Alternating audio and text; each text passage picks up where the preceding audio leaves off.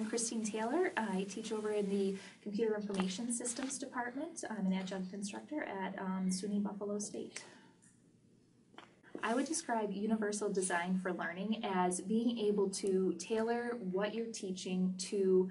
the many needs of students because every student is going to be different. You're not going to have one way of teaching that's going to work for every single person in your classroom. Um, so it's just basically a way of, even though you're only one person and can only do so much, being able to figure out how to take the one thing that you're teaching but present it in a way that multiple people can pick up on and understand and learn from.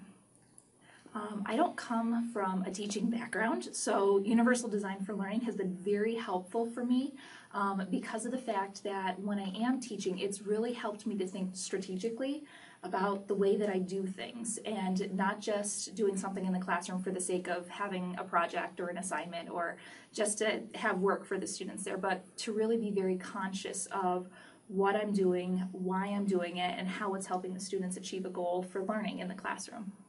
Um, I think Universal Design for Learning has benefited my students in the fact that um, a lot of them will tell me that they really find what I give them practical